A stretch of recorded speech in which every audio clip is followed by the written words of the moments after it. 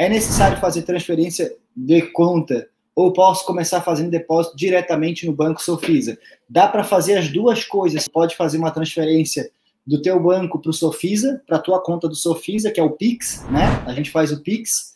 Ou tu pode fazer também um depósito via boleto. Tu consegue gerar um boleto lá e aí tu faz o depósito